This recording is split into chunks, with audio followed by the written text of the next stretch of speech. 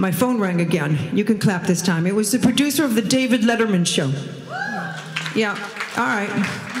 All right, so um, they said, Hey, Cher, how would you like to spend your birthday with Dave? And I said, I would love to for 28 grand. And they said, Oh, we don't do that. I said, Yeah, neither do I. Click. 10 minutes later, they called me back and they said, Look, we'll give you the 28 grand. Cha-ching.